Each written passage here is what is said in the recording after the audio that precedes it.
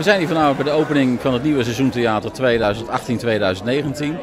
Uh, in het prachtige uh, gemeentelijk theater Vigri. En uh, hier starten we met de eerste voorstelling van een reeks van 120 stuks het aankomend seizoen. Het gemeentelijk theater betekent dat wij als gemeente eigenlijk partner willen zijn in het theater. En we trekken gezamenlijk op om zo ja, voor Zeist een heel mooi cultureel theater te hebben. Waar eigenlijk voor iedereen vanuit Zeist, maar ook vanuit de omgeving iets te beleven valt. Er zit voor iedereen wat in. Iedere zijn smaak, denk ik, uh, kunt u terugvinden in deze programmering. En dat is juist het mooie. Hij is erg ververst, vernieuwd en uh, nou, echt bruisend.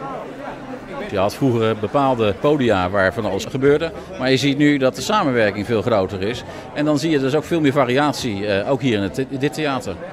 Ik denk dat het voor Zeist met zijn omvang van ruim 62.000 inwoners een must is dat je zo'n heel mooi theater hebt. Wat uh, zowel professioneel gebruikt kan worden, maar ook door de Zeister ja, verenigingen die er zijn. Die hier ook soms hun jaarlijkse optredens verzorgen. Dus het is eigenlijk een theater wat toegankelijk is voor iedereen, maar ook het podium is voor iedereen.